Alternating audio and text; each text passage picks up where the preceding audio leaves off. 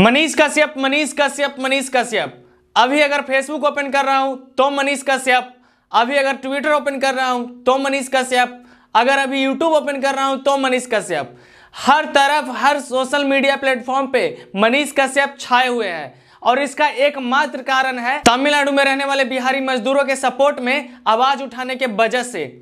लेकिन social media पर कहीं भी इनकी तारीफ़ नहीं हो रही है, बल्कि इनका विरोध किया जा रहा है। दोस्तों, वीडियो शुरू करने से पहले आपको बता दूँ कि मैं दीपक कुमार और आप देख रहे हैं एच न्यूज़ दोस्तों, सोशल मीडिया पर लगातार मनीष कश्यप का विरोध किया जा रहा है और उसका एकमात्र कारण है कि मनीष कश्यप को तमिलनाडु वाले मुद्दे पर बिहार सरकार से कुछ शिकायतें थी और उन्होंने सोशल मीडिया के माध्यम से लाइव आकर कहा। उसमें उन्होंने तेजस्वी यादव को कुछ भला बुरा कहा।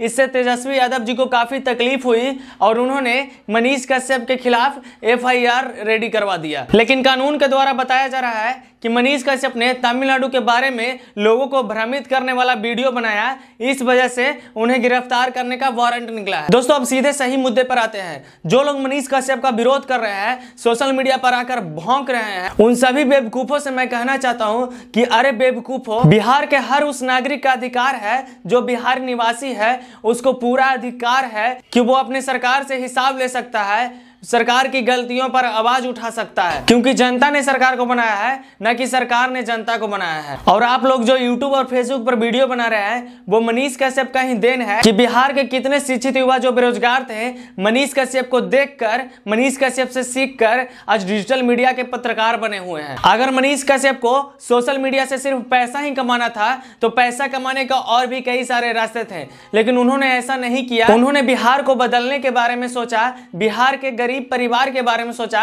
बिहार के हर वो मजदूर के बारे में सोचा, बिहार के हर वो बेरोजगार आदमी के बारे में सोचा कि बिहार को कैसे बदला जाएगा, बिहार के भ्रष्टाचार को कैसे सुधारा जाएगा, बिहार का विकास कैसे होगा। और यही कारण है कि आज उनके खिलाफ गिरफ्तारी का वारंट निकला हुआ है। और ये शुरू से ही हो रहा है, आज पहली बार नहीं हो रहा है। जब भी किसी ने सरकार के भ्रष्टाचार के खिलाफ आवाज़ उठाने की कोशिश की है, उसे हमेशा दबाया गया है, उसे हमेशा रास्ते से हटाने की कोशिश की गई है। और आज वही काम मनीष कश्यप के साथ दोहराया जा रहा है। आदरणीय श्री तेजस्वी यादव जी से मैं पूछना चाहूँगा कि आपको सिर्फ़ मनीष कश्यप का ही बातों का बुरा लगा? अगर आपको नहीं पता है तो YouTube और Facebook खोल कर देखिए और उसमें सर्च कीजिए अपना नाम और पीछे गाली या मीम लगा कर देखिए और उसके बाद सर्च कीजिए। न जाने कितने वीडियो ऐसे आएँगे जिसमें आपको भद्दी भद्दी गालियाँ दी गई है। आपके परिवार का मज़ाक बनाया गया है आपके परिवार का और आपको अपमान किया गया है लेकिन आपने उसके खिलाफ कोई कार्रवाई नहीं की। आप उन सब पर भी कार्रवाई कीजिए जो आपको अपमान करता है। लेकिन नहीं क्योंकि प्रॉब्लम तो सिर्फ़ मनीष कश्यप से ही है। क्योंकि मनीष कश्यप ही तो है जो भ्रष्ट नेताओं और सरकारों की रिलाई करता है और उसे सुधारने का प्रयास करता है। आदरणीय श्री तेजस्वी यादव जी,